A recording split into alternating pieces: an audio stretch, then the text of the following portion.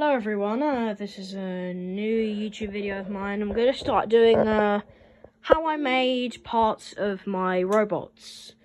So you've got, today we're doing uh, the head turns. So it took me a while to perfect the head turns. I used to have them on like just the servo here, but that would have been way too bad for now. So it's, I use kind of like a Rockafire style head mech so you have like a a pole.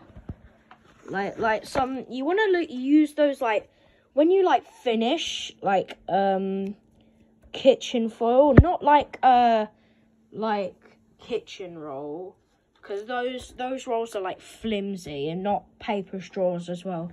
You want to get these ones because they're like they're like hard and firm. Or if you want to use woods ones you can.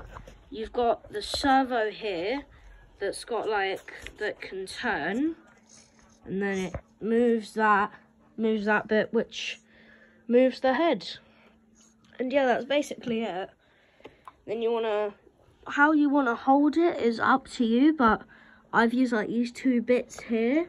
I've got like a, a hole to fit the exact thing and then that pole connects to the head up there and then I've just got this here so now then it can just turn like that. Um lots of people have like asked for tutorials on my robots and I thought I'd deliver to the fans you know?